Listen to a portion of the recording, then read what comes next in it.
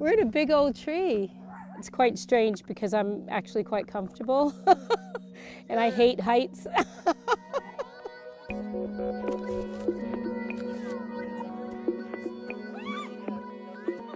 I always ask the tree nicely if it doesn't mind us climbing it. Is that okay, Bob? Do you mind if we climb you today? You've been very good.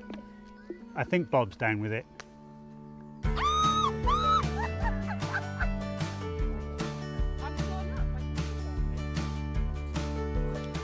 For me, it, it reminds me of being a kid again because it's like being out playing.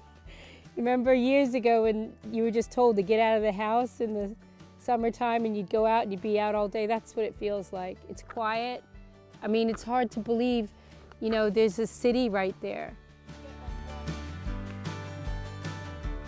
Whoa.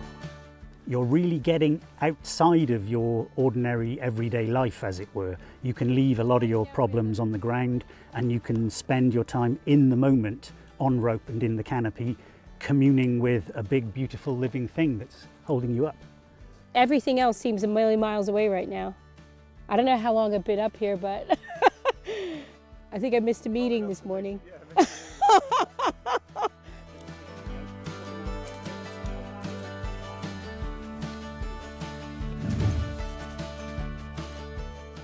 It takes a little more time because you have to kind of deliver training more than doing it for people. You have to explain to people how they do it for themselves, but it's easy to keep an eye on everything and make sure everything's configured correctly. I would like to think I could get a couple more in this tree and we would still be all be very safely socially distanced.